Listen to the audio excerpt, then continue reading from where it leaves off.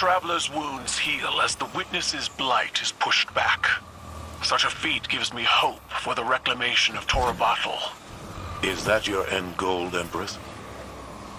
Sol has many worlds. And I would be glad to have you stay rather than wage war over old losses. It... It is a matter of pride. I'm sure other emperors of the past would have said the same, but I also don't see them here. I see someone who was more than her pride.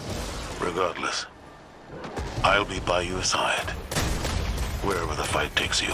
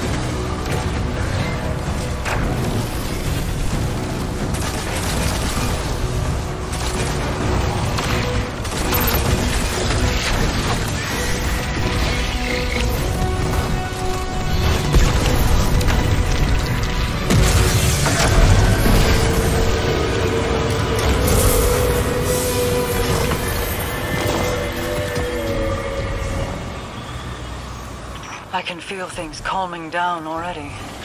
It's remarkable, the difference in this place without the witness's presence. Imagine what the universe will feel like. A collective sigh of relief. And a moment of peace. And then... the tumult of change. Yes, I have no doubt you will abuse peace for your own gain as you have in the past.